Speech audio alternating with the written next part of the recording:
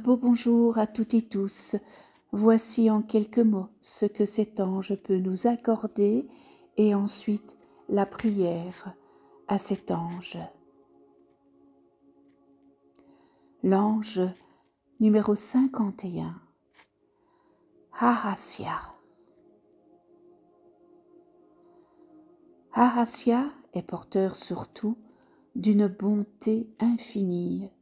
Cet ange gardien fait découvrir les mystères de la sagesse et de la nature, spécialement la fameuse pierre philosophale et la médecine panacée universelle. La personne sous la protection de Ahasya pourra posséder un énorme et impressionnant savoir qui, en fait, ne parviendra pas des expériences matérielles ni des études, mais de ce que l'ange gardien lui infusera directement en vertu des mérites acquis dans les vies antérieures. La personne sera à même de connaître les propriétés des règles inférieures et pourra demander et obtenir des pouvoirs pour se guérir et guérir les autres.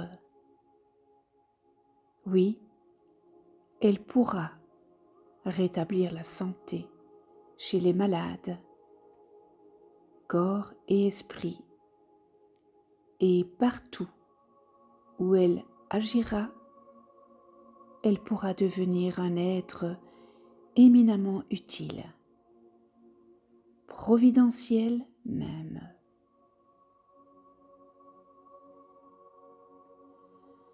Prière à l'ange Haasya.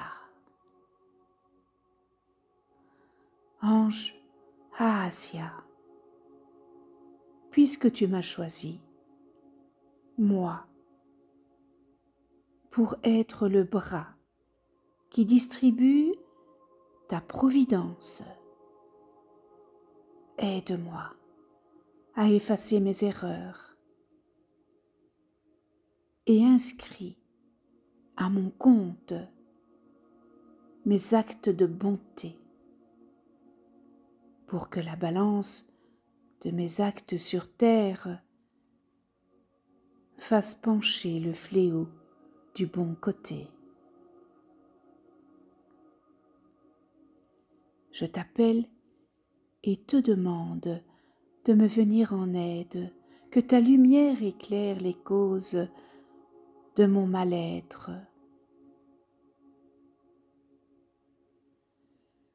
Que ta guidance me montre le chemin du rétablissement.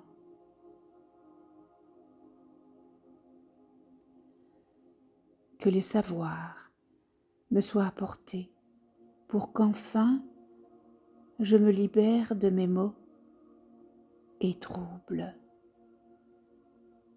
Qu'un jour je puisse guérir les autres et me guérir moi-même, c'est-à-dire rétablir l'harmonie en moi pour accomplir mon devoir humain d'être utile aux autres et à moi-même par une réussite morale et matérielle.